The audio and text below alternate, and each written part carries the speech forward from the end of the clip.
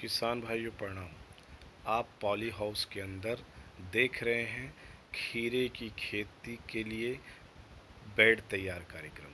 किसान भाइयों, आप बेड तैयार देख रहे हैं और यह किसान भाई लेबर के माध्यम से अपने पॉली हाउस में बेड की तैयारी करा रहे हैं ताकि इसमें खीरे के अगेती फ़सल उगाई जा सके और अच्छी आमदनी के लिए यह खीरे की अगेती फ़सल पॉली हाउस के अंदर करने का तैयारी कर रहे हैं। किसान भाई देख रहे हैं कि लाइन टू लाइन बनाकर किसान अपने पॉली हाउस के अंदर लेबर को लगाकर और लाइन टू लाइन अपने बेड को तैयार कर रहा है। इसमें ड्रिप लगाकर 16 एम का ड्रिप लगाकर इसमें किसान अपने खीरे की पौध को